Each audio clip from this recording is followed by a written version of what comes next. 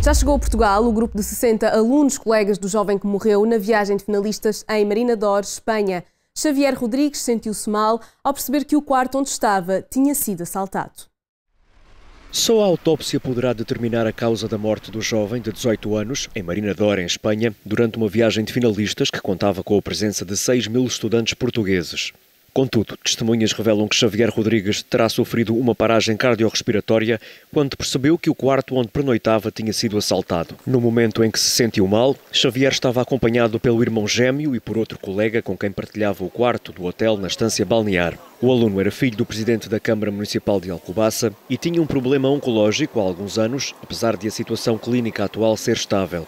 Uma comitiva do município, composta pelo autarca, dois vereadores, três psicólogos e um professor, deslocou-se até Valência para prestar apoio imediato ao grupo de 60 alunos da escola secundária Dona Inês de Castro. O regresso destes jovens foi antecipado em um dia.